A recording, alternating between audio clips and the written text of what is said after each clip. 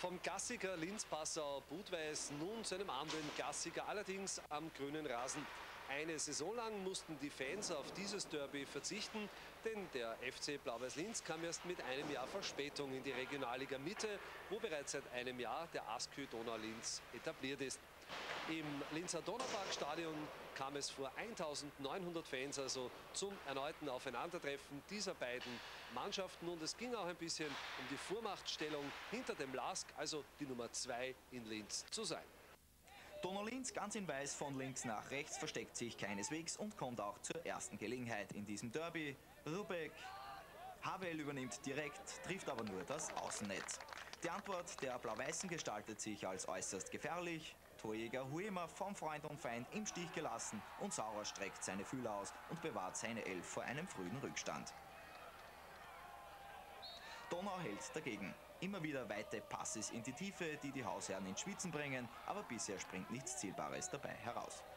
Traumhaftes Fußballwetter im Donauparkstadion. Wallmüller, wieder Huema mit dem Bauer viel Mühe hat. Peric völlig frei und da war es wohl schwieriger, den Ball übers als ins Tor zu schießen.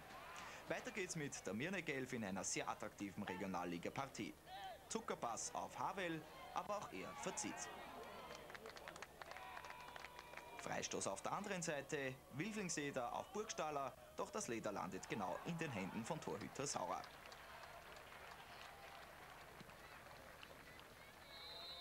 Dasselbe Spiel nochmal, Freistoß, Huema mit dem Kopf und in diesem Fall rettet der Querbalken für die Kleinmünchner. Die Haushören vor allem bei Standardsituationen gefährlich.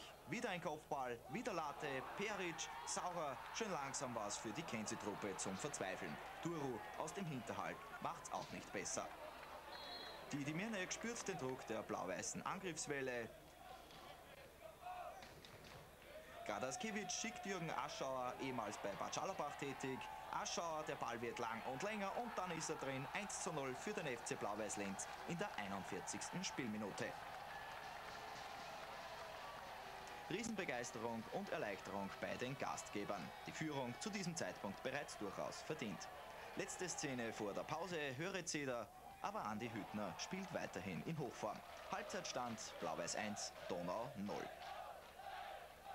Jetzt suchen die Gastgeber eine frühe Entscheidung. Aschauer reagiert schneller als Bauer und Hauser und schon ist es passiert. 52. Spielminute, der FC Blau-Weiß Linz führt mit 2 zu 0.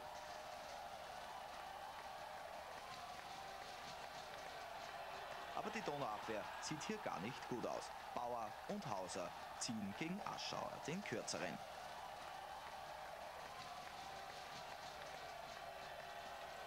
Die Kleinmünchner nun entnervt. Bestes Beispiel ein Trick von Paulin gegen Lechfellner. Und diese Dummheit wird zu Recht mit dem roten Plakat bestraft. Paulin darf duschen gehen.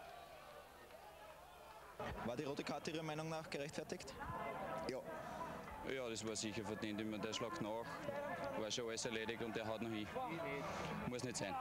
Des einen Leid, des anderen Freud. Trotzdem wehren sich die Gäste gegen die drohende Niederlage, der eingewechselte Zandl, aber wieder bleibt Hüttner Sieger. Sehenswert dann noch ein Gusto-Stückerl, aber es bleibt beim 2 zu 0 für den FC Blau-Weiß Linz.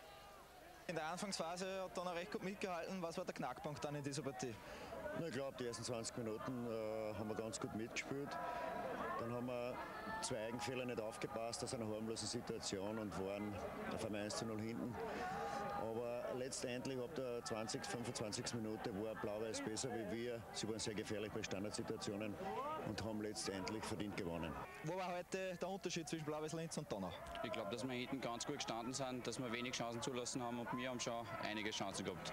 Erste Halbzeit ein paar Mal auf die Lauten und die Kopfbälle waren alle gefährlich und die zwei Tore auch noch. Das war der Unterschied eigentlich.